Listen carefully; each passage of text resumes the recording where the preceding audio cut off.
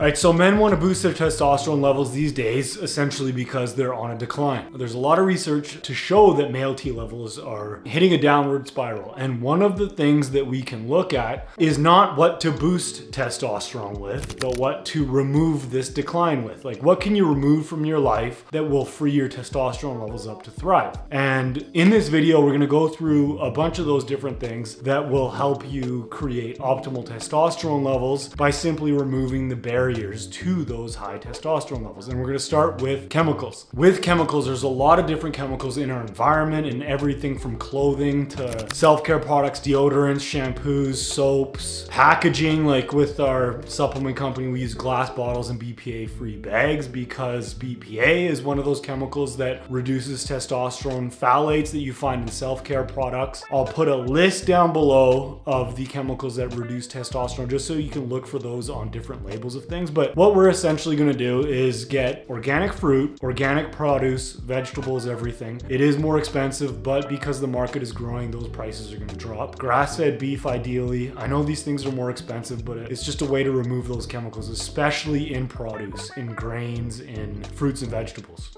And then get natural deodorant, shampoo, soap. Now, those things you can find even on Amazon, you can find it at your local grocery store. There's tons of natural options out there that don't have these chemicals that increase estrogen and block male hormones. They're androgen disruptors. So the first thing you want to remove is chemicals. The second thing you want to remove is body fat. So carrying too much body fat creates aromatization. So aromatase is the conversion of testosterone to estrogen. So if you're carrying too much body fat, you are going to convert some of your testosterone to estrogen, the female hormone. It's just a compounding effect. Then you gain more body fat and then you convert more testosterone to estrogen. So I'll put a plan down below for a diet that will help you figure out how to lose weight because a lot of it is diet. You can't exercise a horrible diet. So get your diet dialed in and then focus on strength training. Also put free member site that we have that will give you workouts for life and we focus on strength training because that's the best way to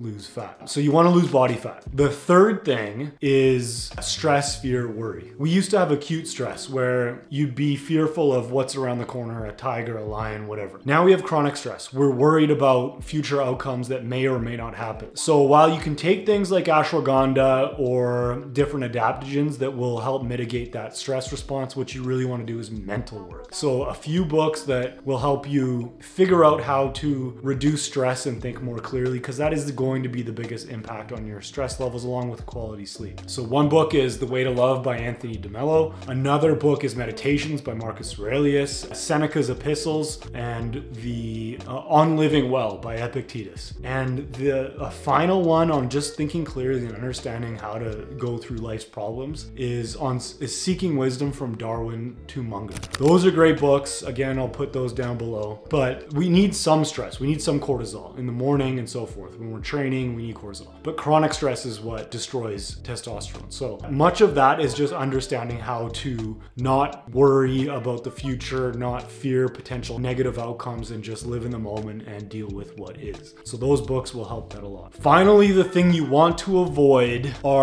natural foods that may lower testosterone and may increase estrogen, xenoestrogens. Some of these include soy, which is well known. Other not so well known ones are mint, green tea, alfalfa. Flax is pretty well known at uh, being an androgen disruptor, so you want to avoid these foods. You also want to avoid too much polyunsaturated fats, which are going to be found in vegetable oils. So use butter, grass-fed butter ideally. Coconut oil, I think can be good. Olive oil can be pretty good, but you want to get away from canola oil and other vegetable oils.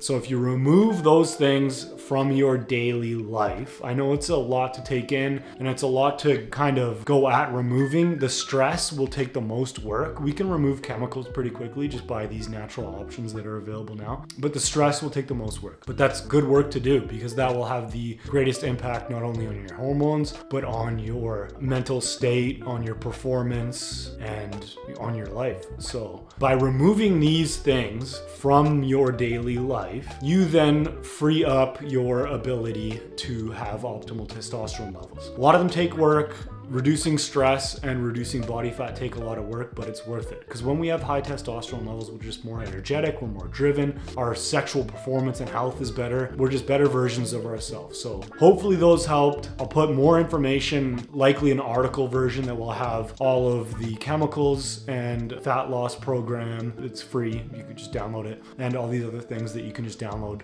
But if you start tackling these things, you free yourself up to have more testosterone. Then you can work on things that boost testosterone, which we have in other videos. But remove these things from your life and you free up your testosterone to have at least the potential to be optimal. Hope you enjoyed this. Take care.